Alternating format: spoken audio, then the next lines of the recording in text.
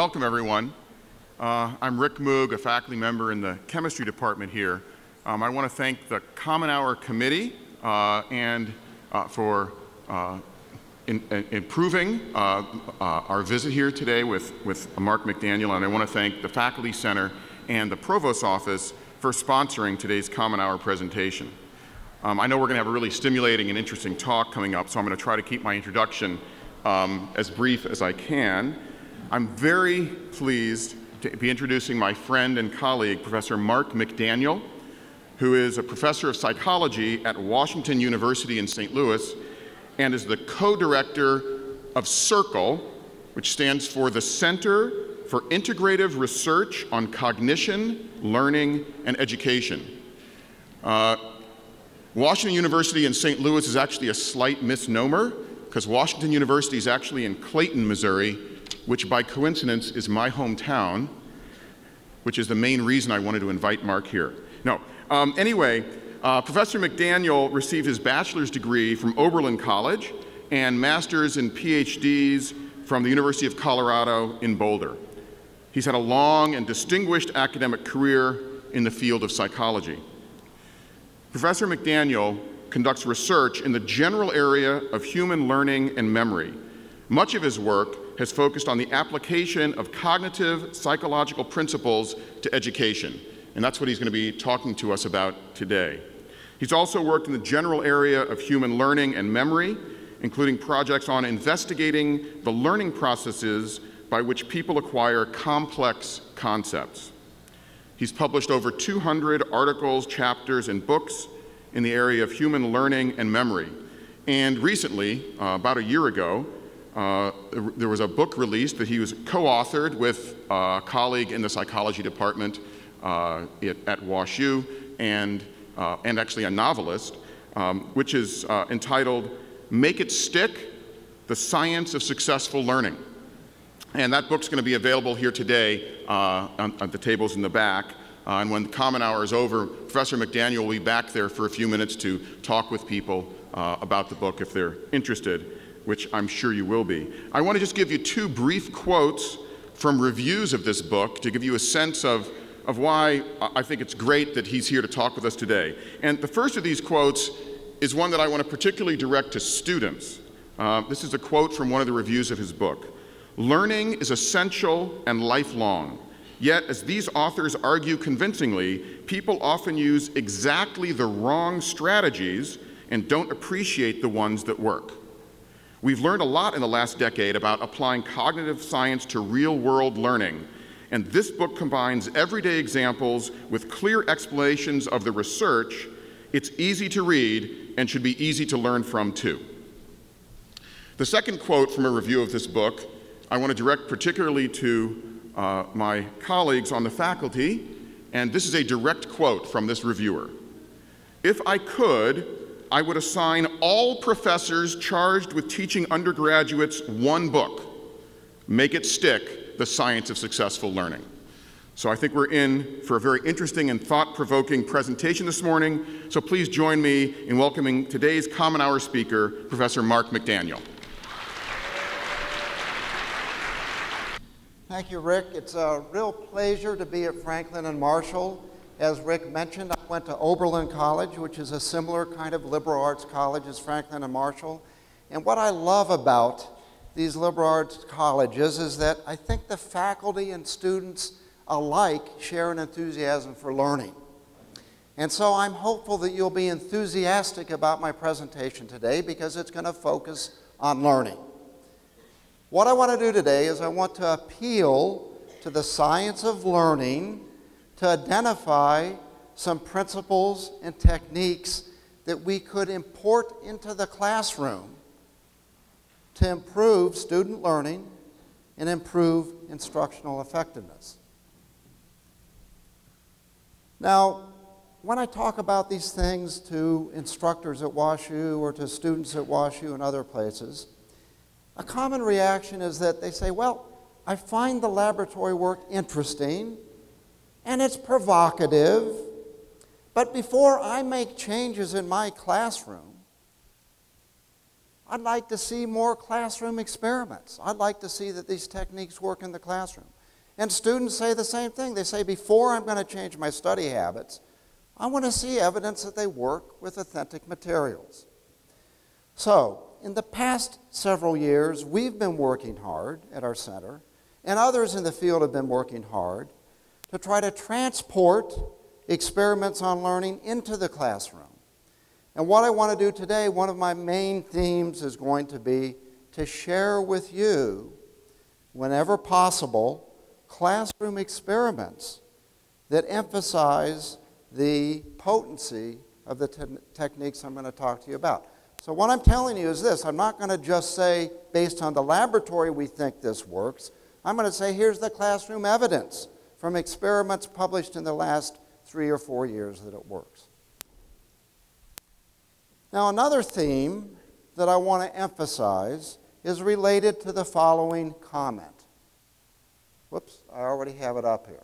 That comment is why are active learning methods so seldom used in colleges and universities? This comment comes from an article in Scientific American last summer on the science of learning. And it's a comment that Carl Wieman made. It's a question that he posed. Carl Wieman is a Nobel Prize winning physicist and more recently an award winning physics educator. And he has promoted the idea that we ought to try to, as much as possible, eliminate lecture in the classroom.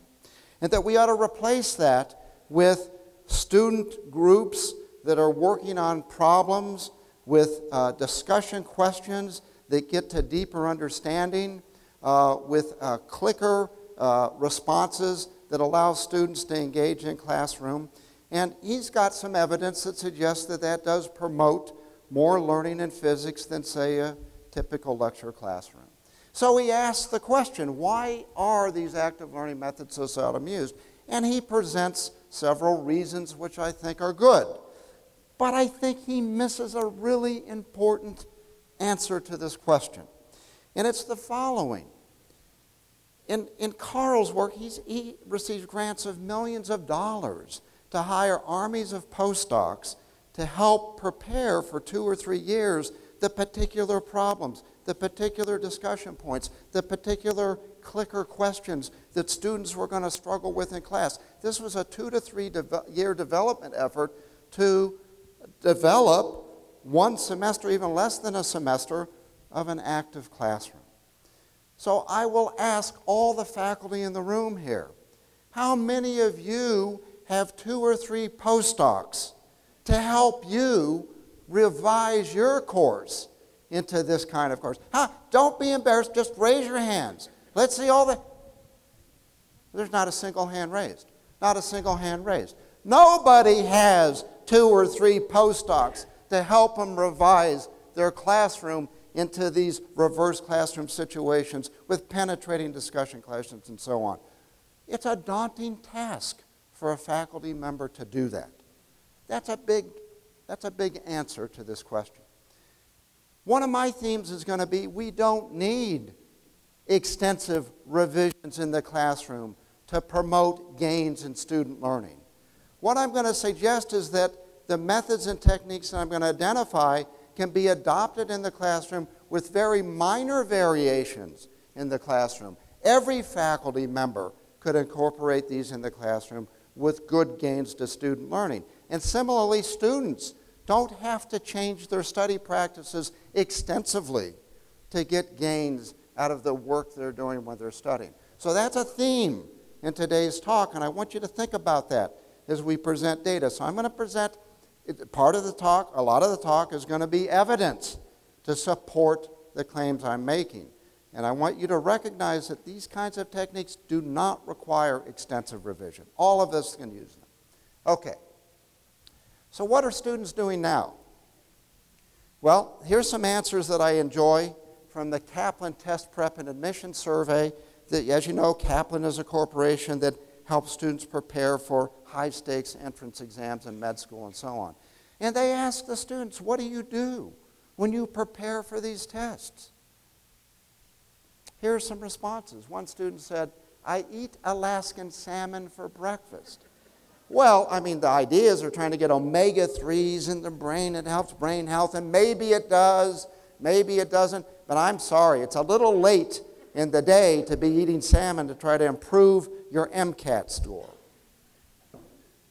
Another student said, I watch back to back episodes of ER. Well, you know, ER has some reasonable information in it, but it's also chock full of information that's not correct. And we know from studies in cognitive psychology that this, this misinformation is very easily incorporated into our knowledge and misleads students. So this is really a bad idea. This is not a good idea. My very favorite is the following. One student said, I wear my Superman underwear. Well, I don't know anybody who would do that. That's the silliest thing in the world. Who would wear, oh, how did that slide get there? Well, yes, it's fun to wear Superman underwear, but not probably especially useful for learning. What are students being told?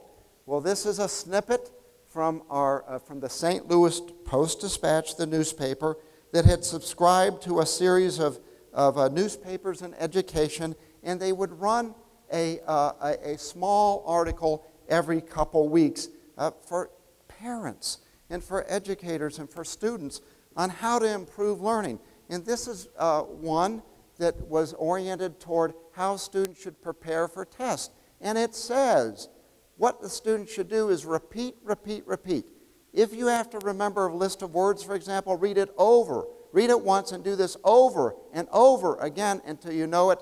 Repeating what you have to remember can help burn the information into your memory. I will spare you the details of the 50 years of research that show that this is just flat out wrong. This is incorrect. Our intuitions is that we ought to repeat, repeat, repeat for better retention and learning. That's just not true.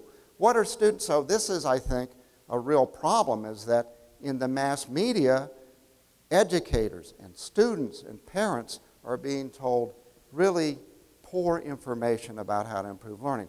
What are students doing? How are students studying? Well, we surveyed 1,294 middle school students in the St. Louis area and not as many high school students, about 102, and we asked them, How do you study?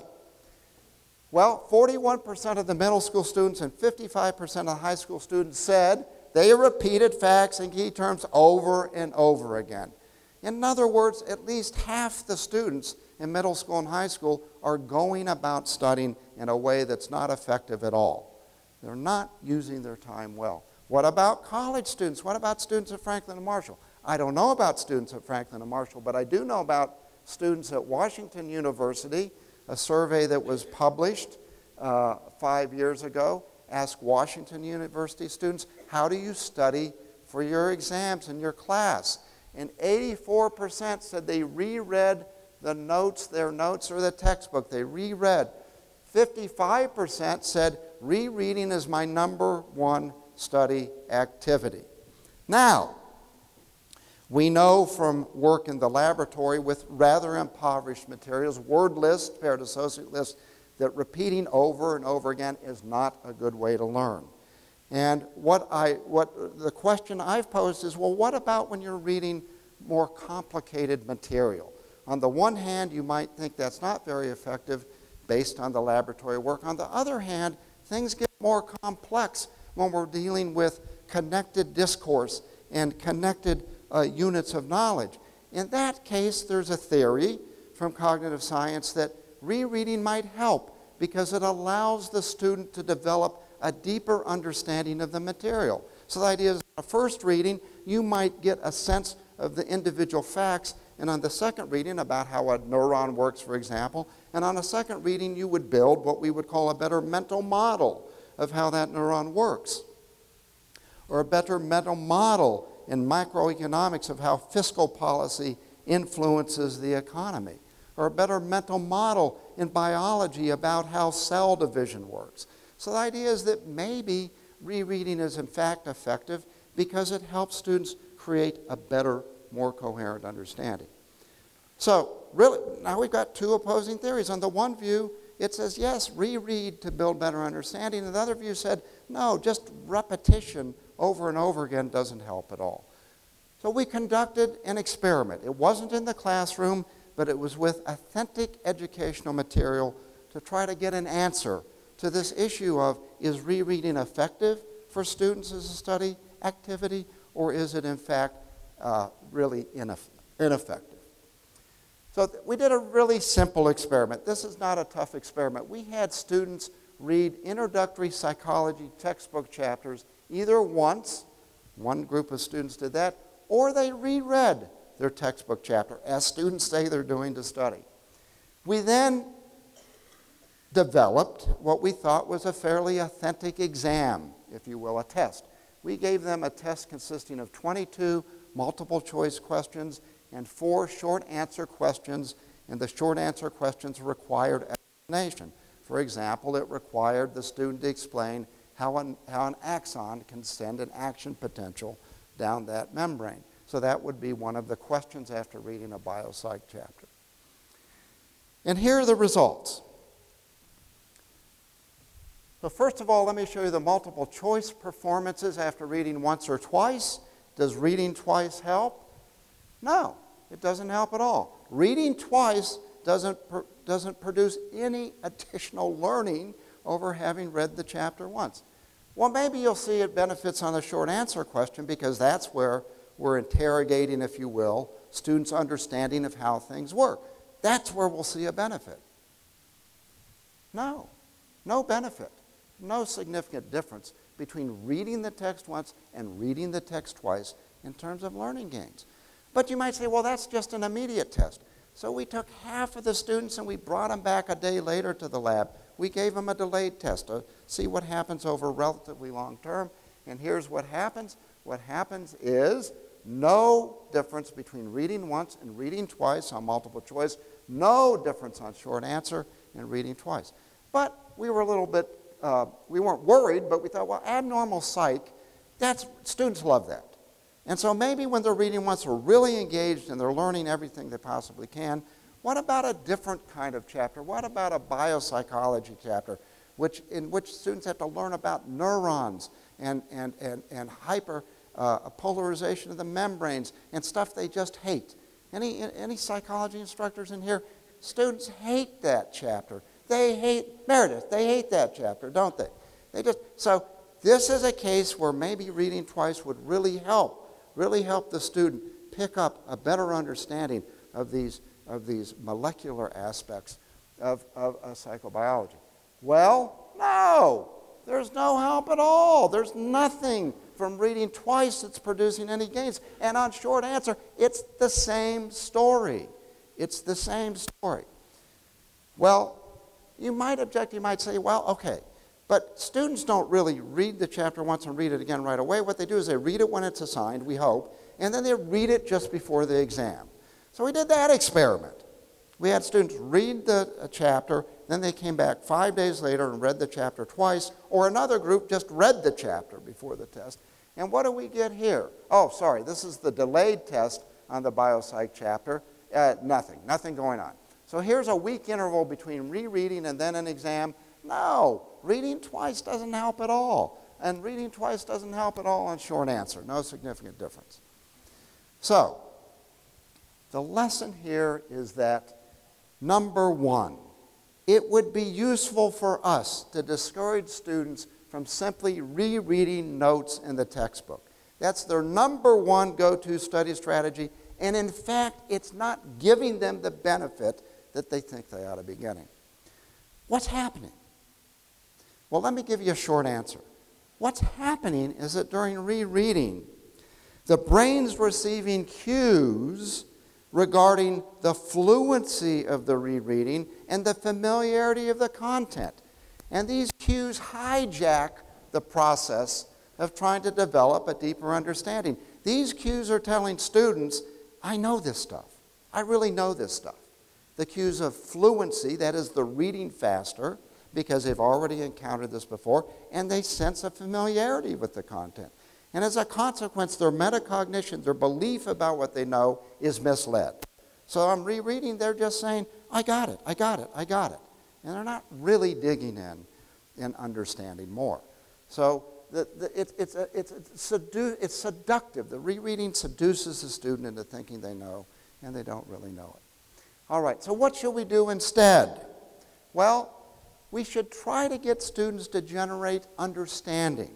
Instead of being seduced by fluency and frequency, somehow get them to engage in study activities that generate understanding. Well, that's easier said than done. All the faculty would say, yes, that's what we want students to do. So, what are some techniques by which we might do that? One technique that's been examined quite often in the laboratory is to get students to answer the question why or to pose the question why and get students to try to explain about information. The idea here is this that for students, much of the information that they're learning in the classroom seems kind of arbitrary. To the faculty member, it makes lots of sense. The faculty member has lots of connections with this information. The student just thinks that it's kind of arbitrary. A middle school science student has to learn. Arteries are thick, elastic vessels that carry blood away from the heart. Veins are thin vessels that carry blood to the heart. To the middle school science student, this is just arbitrary information. What you can do is you could maybe try to generate understanding by asking the student why. Why are arteries thick, elastic vessels? And what you hope to do is guide them toward the understanding that they're thick, elastic vessels. Why? Because you've got to have a thick vessel to withstand the pumping motion of the heart, and the elasticity allows these vessels to contract after the blood goes through to act as a back valve so the blood doesn't come back toward the heart. Veins can be thin. They don't need to be strong. They're away from the pumping action of the heart. Once you get explanation, now the student's generating relations among the information. And they're relating it to a knowledge base, and they're understanding the significance of those properties. So we think that uh, stimulating students to answer why or other deep level questions like how. How is the digestive system like the respiratory system? That's what one biology instructor at the University of Washington in Seattle asked her students, or you could ask, what if? Well, we know from laboratory work with simple sentences as this works. What about more complex materials that we see in the classroom? So, for example, what about a paragraph from an astrophysics textbook that talks about the conservation of angular momentum? This is pretty, this is pretty technical stuff. A body in motion has constant energy, and energy must be conserved. It takes less energy to spin as an object size gets smaller. Collapsing stars spin faster and faster as they fold in on themselves. The phenomenon of spinning faster as the star size shrinks is because of a principle called conservation of angular momentum. This is what students are reading. This is what they're learning from. So we pose the question, what if we stimulated the student to try to answer why? Try to answer why. Would learning increase? Now, this is not a classroom study. This is done in the laboratory. I'll move on to a classroom study in a moment. So we did the study where students either study these texts or the other half of the students have to answer why. Why does an object speed up as its radius gets smaller? So try to get the student to grapple with this principle. Try to relate it to things they know. And when we do that, look at what happens to learning. We have both factual questions. The text only produced about 74% correct. Answering why produces a nice increase in performance, so students are almost perfect. On inference questions where students have to solve problems, they go from 60% to 73% when they've had to struggle with answering why. So rather than reread, what we ought to be doing is trying to stimulate students, and students can do this on their own as they're studying, is to pose the question to themselves. Why does an axon transmit an electrical system down the, the membrane, or how does that happen? Not just reread it, but try to explain why. So, would this be potent in the classroom? It's starting to be the case that some educators now are in the classroom having students do little mini writings, two or three minute writings, where the students respond to why questions.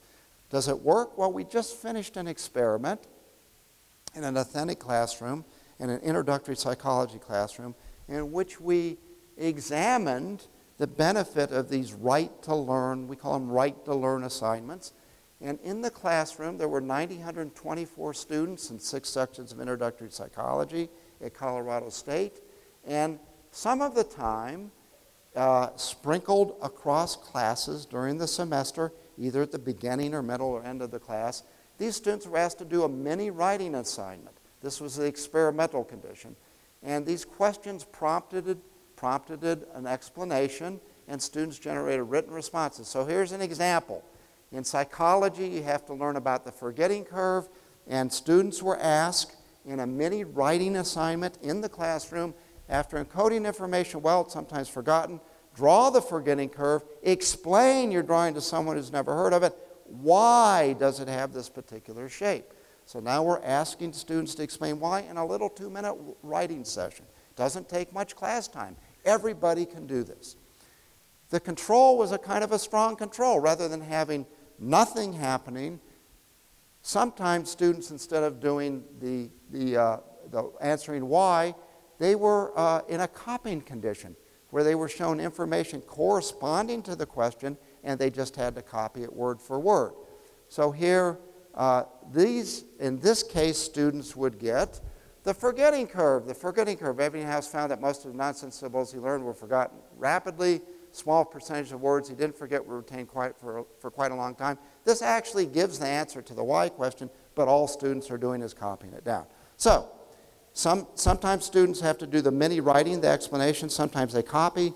This is all balanced across the different sections. And then on the final exam, there are 24 questions. 12 of those relate to the copying, 12 relate to the why questions, and what happens in terms of performance. If you just copied, you get 68% correct. If you did mini writing, you get 72% correct. That's a statistically uh, significant difference, and it results in a half of a letter grade improvement for the student. That's not a huge effect, but I think it could be bigger in as much as in the classroom, people aren't going to implement a control of many copying. Instead, they're just going to do the many writing or not. And I think in that case, many writing is going to produce better uh, advances over what you get otherwise. And the other thing is, in these many writing conditions, we didn't always ask a why question. And I think uh, if we would always ask a why question, we'd get even better improvement. So are there ways that in the classroom with minimal changes, we can bring effective techniques to help students understand? Okay. A third point, this is really an important point, is that the laboratory work has shown for 50 or 60 years that if we mass presentation of information, retention and transfer is worse than if we space uh, study and instruction. Now, this really goes counter to what we do in our educational system. In our classes, for example, uh, in psychology, we might first talk about classical conditioning. We mask the discussion of that. Then we move on to instrumental conditioning. Then we move on to short term memory. Uh, in, in, in other kinds of courses, in geology, instructors tell me they talk about uh, metamorphic rocks. They talk about sedimentary rocks. And so they mass instruction, and then they move on to another topic. What the literature clearly shows is that we ought to be spacing that instruction out over time. And that leads to better retention. I could show you lots and lots of laboratory studies showing this, but you might not feel that's very impactful. Instead, I'm going to show you two of about the six or eight studies that have been published on spacing in a classroom situation. And this will give you a concrete idea of what I mean. The first example comes from a medical school. In the medical school, this is very typical. The surgical residents get trained on a particular kind of surgery in one day. So in this particular school, uh, surgeons were trained on a microsurgery for, for arteries, a microvascular surgery, and as was common, this was a one day instructional period where they looked at videos, the surgeons looked at videos, they did some practice on a synthetic artery model, and then they had a little feedback from an instruction, a little lecture. This went on for two hour segments throughout the day. In this experiment, the researchers randomly assigned 19 of the 38 surgeons to participate in the usual kind of instruction. And then, really, really neatly. The other 19 were given the four training sessions, but they were given each two hour session once a week. So they went in and they got two hours of instruction, and then a week later they got two more hours, and a week later two more hours, and so on. It's the same amount of instruction.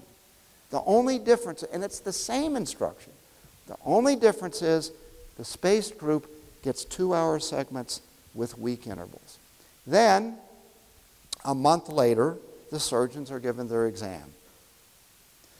Now, part of the exam was to redo the exercises on the synthetic artery. This is a plastic artery.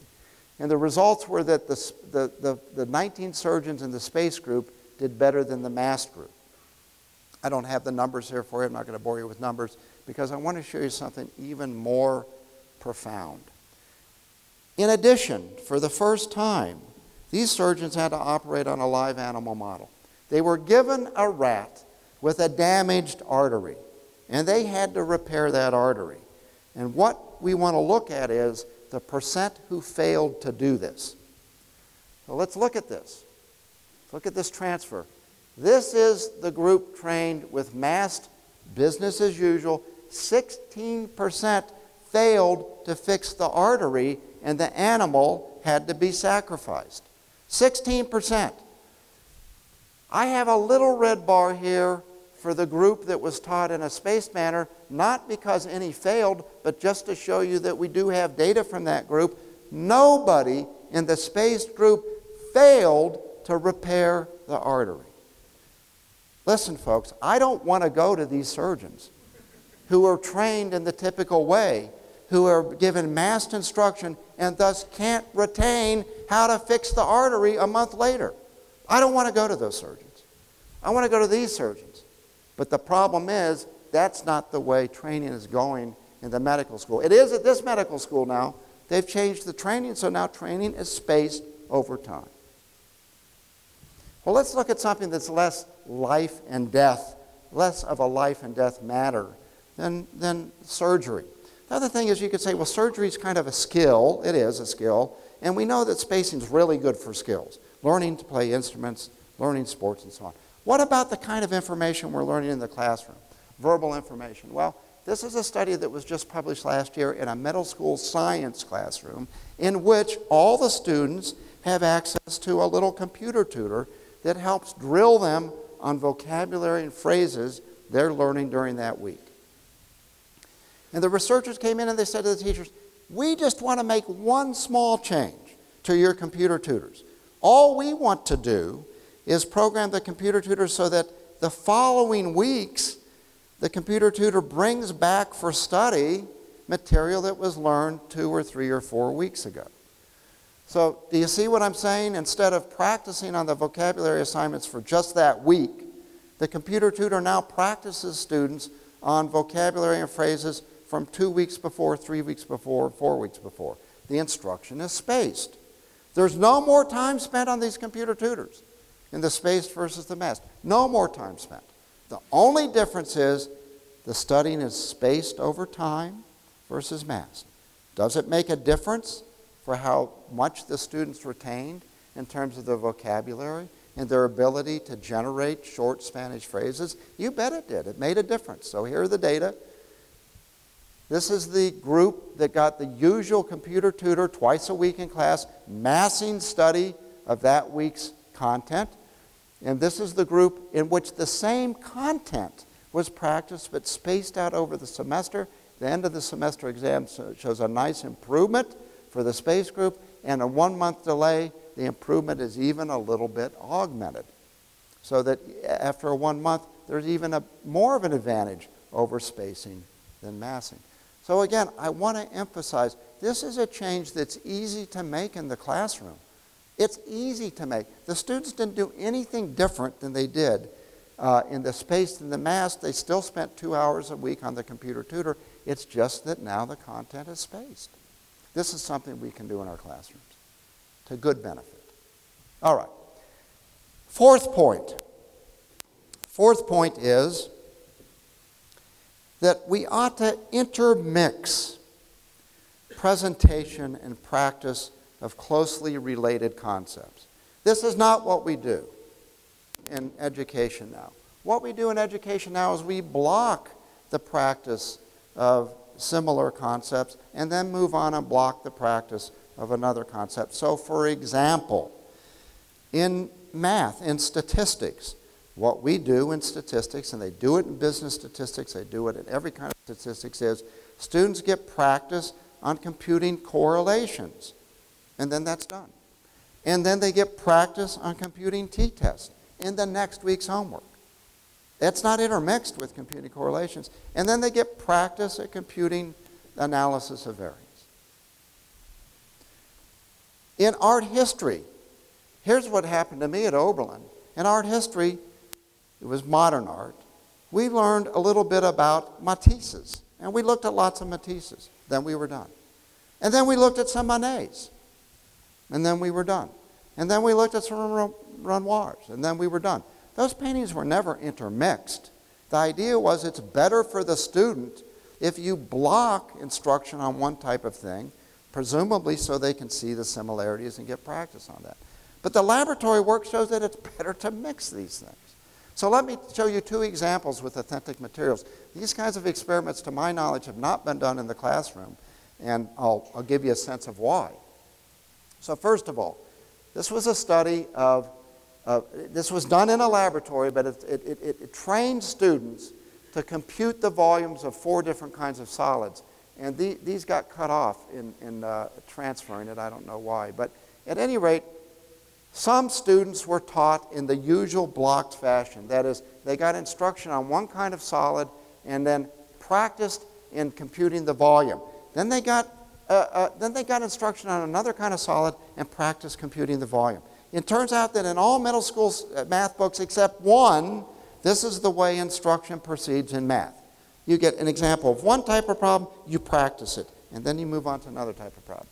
The mixed group got, in contrast, instruction on all the solids, and then they practiced in an interleave fashion. They got practiced on all four problem types. And all four problem types were presented in random order. And then a week later, they get eight novel problems, two from each kind of solid. And let's look at what happens, first of all, in practice. In practice, the blockers, over the course of their practicing, are getting about 85% of these correct. So the performance is very good. The mixers, on the other hand, are struggling.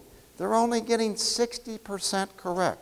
So, on a performance standpoint, What's happening is the student who's got blocked practice is saying, I've got it. I'm really doing well. I feel great.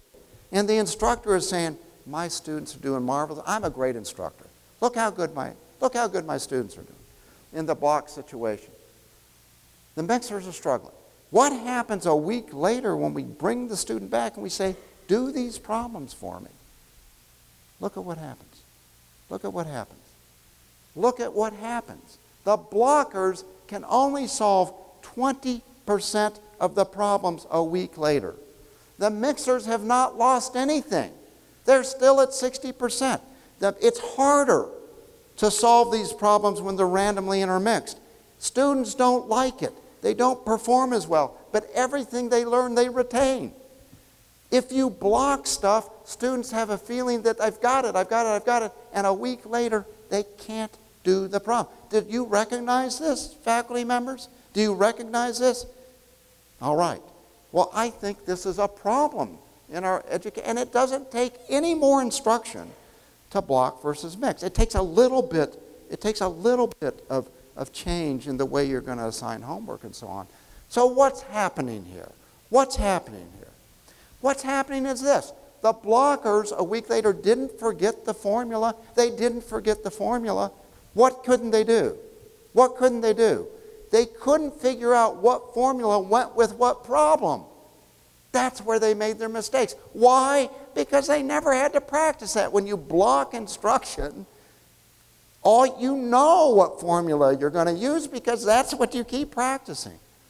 So what we do to students is we deny them the opportunity to learn the very skill they need which is when they get out of your classroom and they get a data set should I do a correlation? Should I do a t-test? Should I do an analysis of variance? How would they know that? Because all they've done is practice correlation then move to t-test, what you need to learn is not only the procedures, but where to apply them. When they get out in their jobs, how do they know what to use where? They don't if you've blocked instructions. All they do is practice one type of problem that they know how to solve. So this is another, I think, fairly modest change that we can make in the educational system that's going to produce big benefits. Now, students won't like it because it's harder, and instructors don't like it because they tell me students aren't going to like it, I'm going to get bad teacher ratings. So this is going to be, it's going to be kind of practically a hard change, but I think if you inform students as to why you're mixing up their homework problems so that it's tougher, students will buy in, and you'll get better learning. All right, last thing, because I'm told that people will want to ask questions. So four more minutes. Oh, well, I want to show you a similar thing. It's not just learning math problems, but it's art concepts too. So an experiment was done in which artists who weren't well known, so the students wouldn't know the artist, and maybe if you look at the artwork, you can see why. I don't know.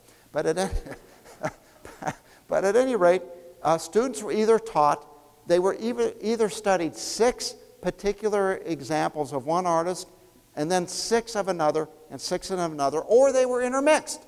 So they would get one from one artist, one from another artist, one from another artist, and so on. And so we're going to ask the same thing. Is blocking better or is mixing better? And now the test is going to be, students are going to be given a new examples from these artists, and they have to identify who painted this painting. This is exactly what I had to do in art history class. Here are the results. so these are the mixers. This is the percent correct on new paintings they had never seen in terms of identifying the artist.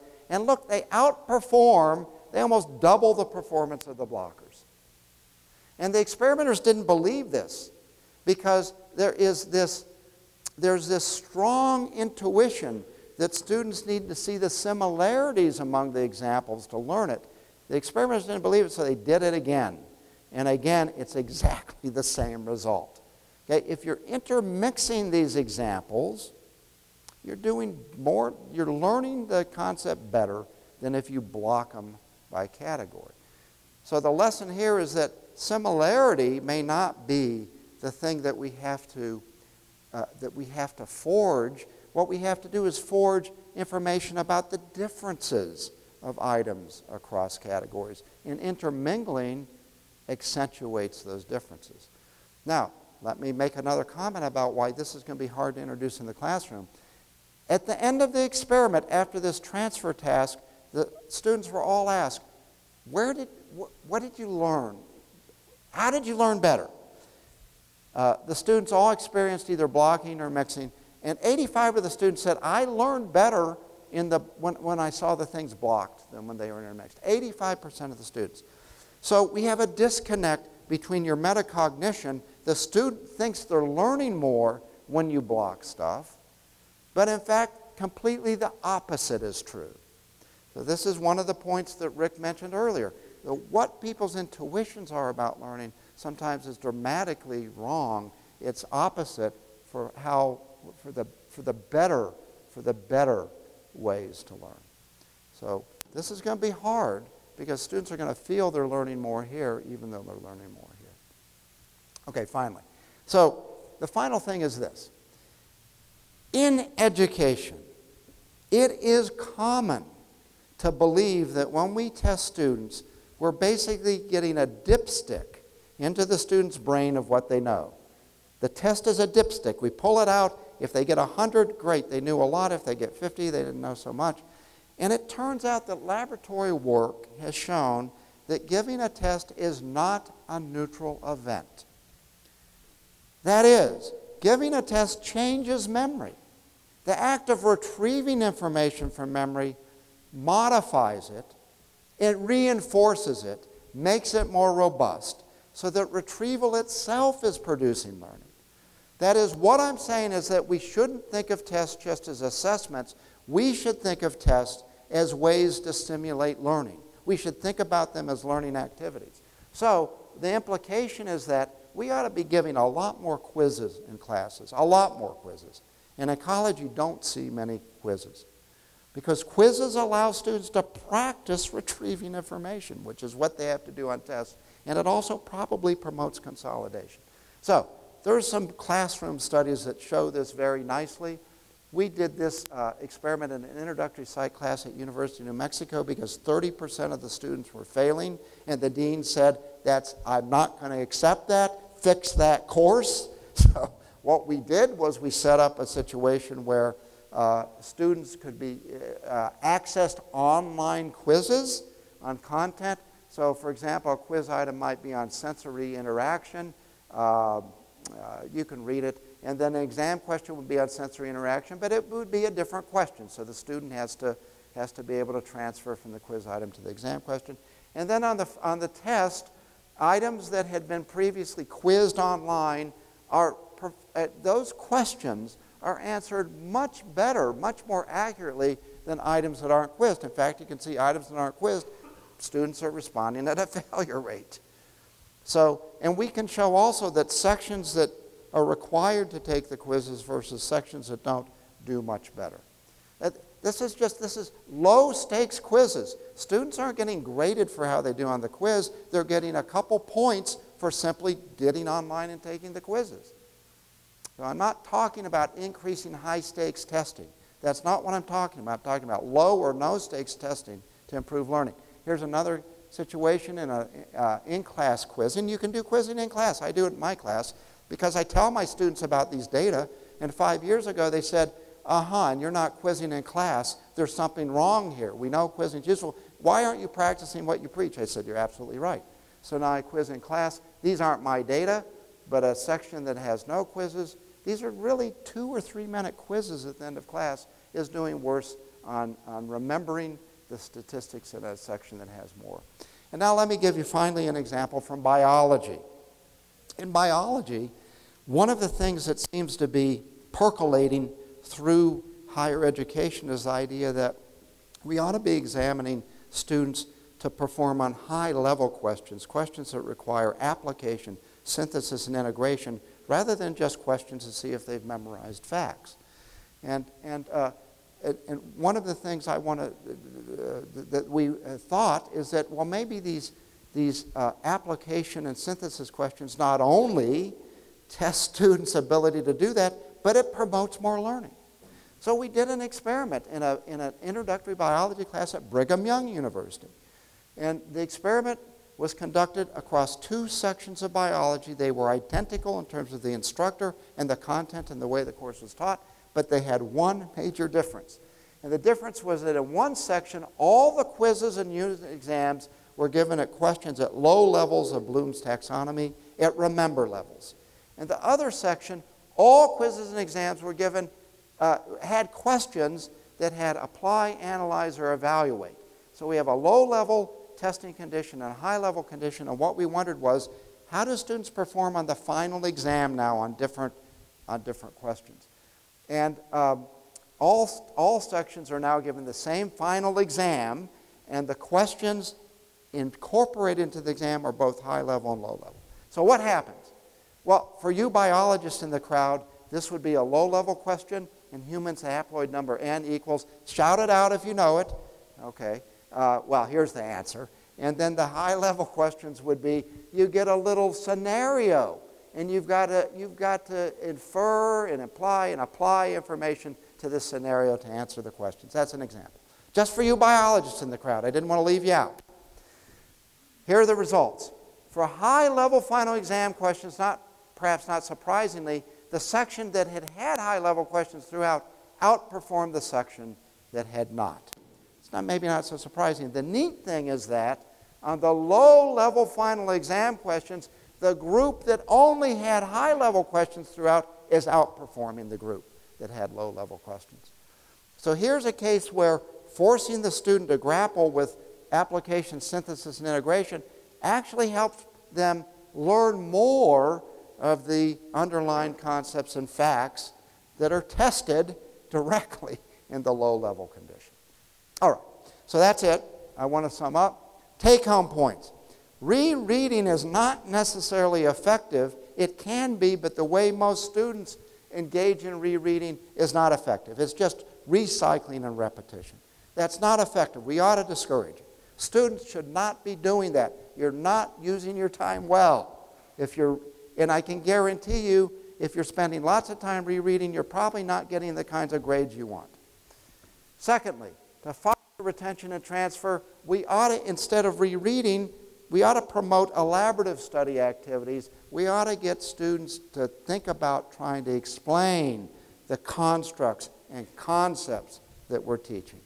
Thirdly, introduce spacing and interleaving into courses. This is not a big adjustment. Uh, so Rick Moog in chemistry does this through quizzing.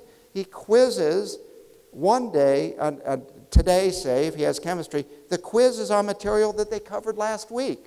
So in that way, he's spacing material over the class. So quizzes can be used that way. Homework can be used to space material. We have a psychology instructor that builds in time in her classroom every day to revisit material from previous weeks. It's, it's an adjustment, but it's not a major overhaul. It would give big benefits. And finally, testing promotes learning and transfer. We ought to be relying on low stakes or no stakes tests to help students learn. It should be testing's more than just an assessment device. It's a learning tool. And I would suggest to all students that they ought to self-test in preparation for an exam. One, and I don't have time to show you the data, but I can tell you about it later. One really effective technique is to read and then try to recite that information, either to yourself. I have a student in my class who says she recites it to the wall. She tells the wall about what she learned in class and what she read. Or tell a friend, or think about it on your way to the cafeteria, or when you're in cross country practice. Try to start reciting what you've learned. And then after recitation, review. Read, recite, review. Testing doesn't just strengthen memory, it informs you about what you know and what you don't know so it more effectively guides your study activities. And I have data on that, but I've run out of time. So thanks very much.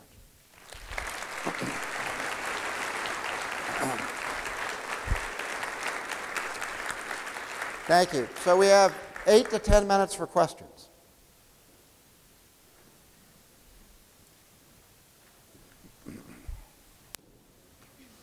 Hi, uh, my name is Emily Meneghina. I'm a theater and Italian major, uh, senior.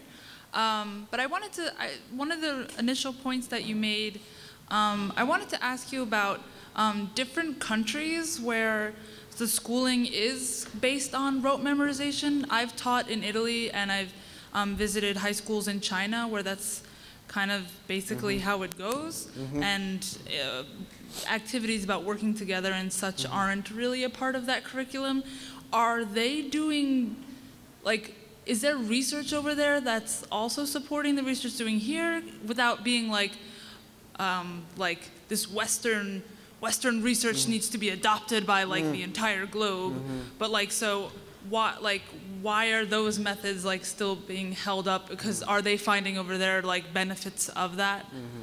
So the question is, in other cultures, the educational system may encourage more rote learning than maybe we do in our universities here. And that, that may be the case. I, I don't want to make a value judgment about that. What I will say is that all the methods that I've been talking about are perfectly uh, uh, useful in those situations as well. In fact, they're very useful. So if you've got to learn a lot of math facts or a lot of vocabulary or whatever, rather than just reading these over and over, which is what most students do, practice retrieving them. Space your practice. All of those methods are equally useful for remembering individual facts in a rote way or for trying to build better understanding. So yes, these techniques, I think, are universal. Yeah. Hi, my name is Fato. I'm a junior. And uh, this year, I am also a preceptor, or I don't know, maybe you might, um, in your universities, like TA in a class. Mm -hmm. Um, and like my question is about has like, F&M right now is about to get into finals and uh, I guess going back to your point about spacing, learning, and time, uh, and we are right now, uh, everybody's under stress. So, yes. If you could talk a little bit about stress and memory and learning, especially in these next couple weeks that's going to be for students, that would be great. All right, well, I, I, I don't have a lot to say about that from a, from a data standpoint. Okay, I haven't done a lot of work with that, but I can tell you this. We've done, uh, we have gone into middle schools in our surrounding St. Louis area and implemented quizzing programs, low, no stakes quizzing programs with clickers. And in interviewing the students, we just did this in the last year afterwards, uh, we asked them, did, wh- how, how anxious were you about taking the test in your classroom? And did the anxiety seem to be less after a lot of quizzing? And the answer was most of the students said, the quizzing really helped me with my anxiety levels. So after I got a lot of practice in quizzing, I wasn't nearly as anxious for the exams. So to the degree that anxiety is stress, stress creates anxiety, the, the answer is this. Sure, you want to lower stress and anxiety, and one way to do it is to practice the kinds of cognitive activities that are going to be demanded of you on the test. And those, and those are retrieving information. So practice that during the week. Practice giving yourself tests. Practice taking quizzes. Practice with flashcards. That reduces anxiety. It reduces stress. The other thing is that I would really advocate spacing the study. So if students are waiting to the last minute to study, that's really stressful. That's really stressful. You can reduce that by just by creating a study schedule where you're studying a little bit on one day, a little bit on the next day, a little bit on the next day, the material, and keeping to that schedule. And in my opinion, that reduces stress. I don't have evidence on this, but my intuition is that reduces stress dramatically over the student who's trying to cram everything in the night before the exam. So stress reduction means planning. Stress reduction means management of, of study activities, making sure you're spacing those study activities. So I think the answer is yes. These techniques also should be useful for reducing the stress associated with learning. Because these activities are producing, they're producing permanent learning. They're producing robust learning. And with that kind of thing in, in hand, students can go into their exams and feel comfortable and confident and do well. I mean, I, I, I oh, sorry. So let me, let me just tell you briefly, really briefly, about the, the uh, uh, story about a medical student who adopted these techniques. Even before our book was out, he would just read our websites, what we are doing. And he said he was, he was flunking out of medical school and a lot of anxiety. He really wanted to be a doctor. And he implemented these methods of self-testing and spacing his study and trying to answer, trying to explain things he was learning. He's now at the top of the class. He's not stressed at all. This guy's having a good time in medical school. So I think these techniques, they do involve work, but learning is work. But if you know where to put your energies, I think your stress kind of disappears.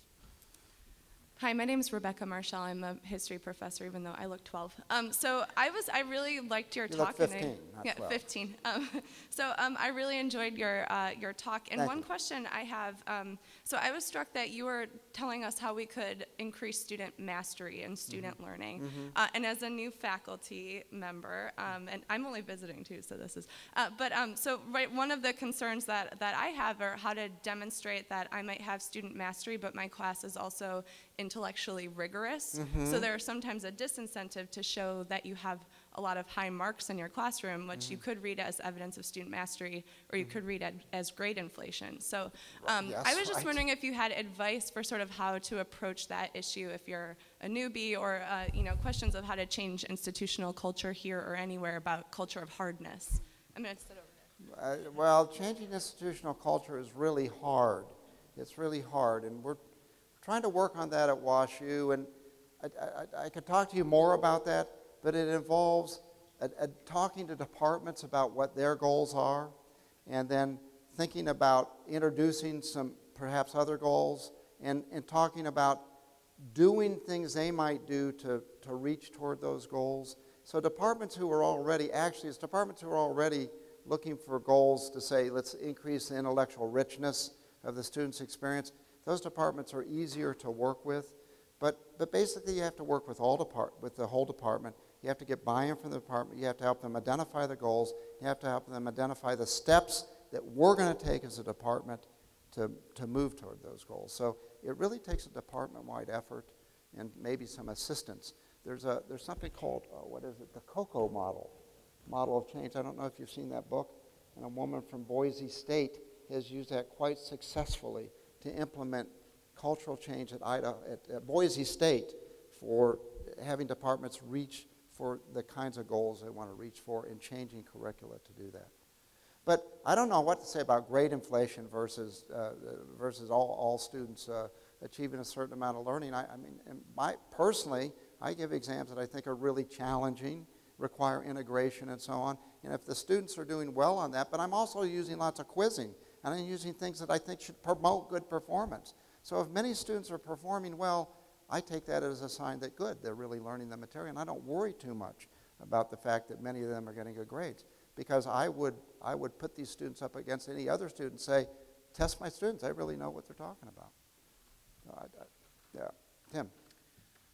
Um, what does your research about how individuals learn best um, and, and how to assess individuals, um, what does that add to the debate about high stakes testing um, as a tool for other means in um, elementary and secondary education in terms of using instruments, um, standardized tests to um, uh, determine funding and, and teacher qualifications and, and things like that? That's a really good question. I, I, I, uh, uh, I'm, I'm probably not going to answer the question. I'm not going to answer the question. okay? I'm not going to. I, I, I, think, I think testing's fine if, it's, if it is designed to align with your learning objectives. So I think the problem with testing is that often, and, I, I'm not going to necessarily speak about standardized tests, but often instructors unwittingly give tests that aren't aligned with the kinds of learning activities that they're having students do. And I think this is where the big damage is done. So, for example, in AP uh, World History, there is now, I I think there's a, a manual for the instructors that suggests that instructors have students construct matrix notes. Have you ever heard of this, matrix notes? Where you list each civilization at the top of the matrix and down the, uh, down the rows, you list different characteristics. The religious uh, uh, orientation of the, of the, of the uh, civilization, the economic orientation, the political orientation. And students are required to, to synthesize and summarize these aspects and to, and to draw relations. I actually have a slide, but I have it hidden, so I'm not going to go over and show it, that shows the students' matrix notes. And you can see they're doing lots of arrows here and lots of writing.